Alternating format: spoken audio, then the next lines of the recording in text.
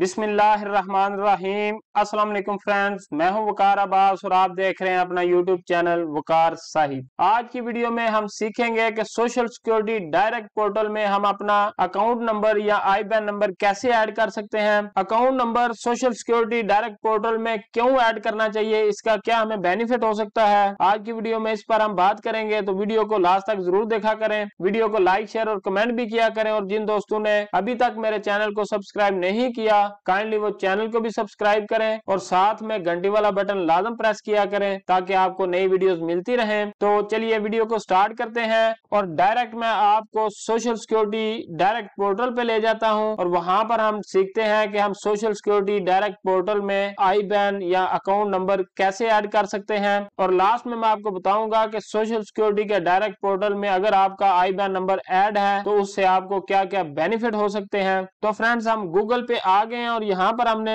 Simply लिखना है social security direct portal तो ये आपके सामने आ जाएगा, इसको आपने ओपन कर लेना है। पहली ऑफिशियल वेबसाइट है, इसके ऊपर क्लिक करें। तो इस तरह की आपके सामने सोशल सिक्योरिटी डायरेक्ट पोर्टल की विंडो ओपन हो जाएगी। इसमें आपने ये फ़र्स्ट कॉलम में सोशल सिक्योरिटी नंबर लिखना है और नीचे पासवर्ड पुट करना है। उसके बाद लॉग कर लेना है। तो इस तरह आप सोशल सिक्योरिटी के फ्रंट पेज पे आ जाएँगे। यहाँ पर आपने चेकिंग अकाउंट में जाना है और इसके साथ ये सोशल सिक्योरिटी रिसीप्ट का ऑप्शन है इसमें पहला ऑप्शन है बैंक अकाउंट का, इसके ऊपर आपने क्लिक कर लेना है। और यहाँ पर देखें इंडिकेट न्यू अकाउंट, इसके ऊपर आपने क्लिक कर लेना है। और यहाँ पर आपने अपना आई नंबर और यहाँ पर स्विफ्ट कोड, जब आई नंबर पुट करेंगे तो स्विफ्ट कोड ऑटोमेटिकली जनरेट हो जाएगा। तो ये देखें मैंने आई नंबर लिखा है, साथ में स्विफ्ट कोड ऑटोमेटिकली आ गया तो ये पुट करके आपने टू रिकॉर्ड कर देना है। टू रिकॉर्ड करेंगे तो ये देखें ऊपर आ गया बैंक अकाउंट सक्सेसफुली चेंज इस मीन के आपका जो बैंक अकाउंट है, वो आपके सोशल सिक्योरिटी के पोर्टल में ऐड हो गया है। अब लास्ट में जो बात मैंने आपको बोली थी, वो ये है कि आपका जो अपना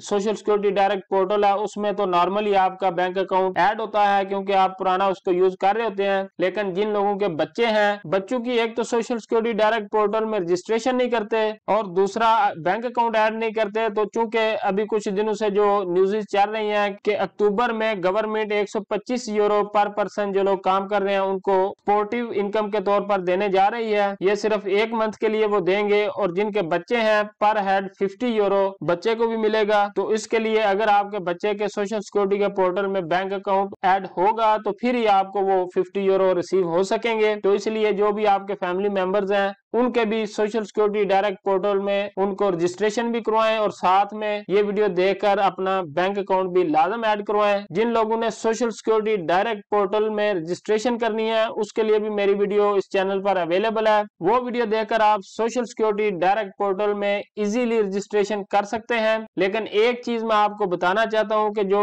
फ्लाई रियासतें होती है, जो निचले दर्जे के लोगों के लिए काम करती है, वो इसी तरह काम करती है। इन्होंने ये जो बेनिफिट का ऐलान किया है, पुर्तगाल में लोगों की पर हेड 125 यूरो सपोर्ट करना, जहाँ पर बेसिक सैलरी 705 यूरो है। ये बहुत बड़ी बात है। लेकिन फलाई रियासत का सिस्टम देखें कि जिनकी सैलरी सताईस से ऊपर है, उन लोगों को ये पैसे नहीं मिलेंगे। इसका मतलब क्या है कि जो अमीर लोग हैं, उनको फलाई रियासतें सपोर्ट नहीं करती, बल्कि जो गरीब लोग होते हैं, जिनके पास पैसे नहीं होते, उन लोगों को फलाई रियासतें मस्त सपोर्ट करती हैं। हमारे माशरे में आप देख लें जो हो रहा है, जो अमीर है, वो अमीर तरीन होते जा रहे हैं, और जो गरीब है, उनकी सुनवाई नहीं होती। तो खुश रहें, खुशियाँ बांटें, दुआओं में मुझे हमेशा याद रखा करें। अंटिल नेक्स्ट वीडियो अल्लाह हाफिज।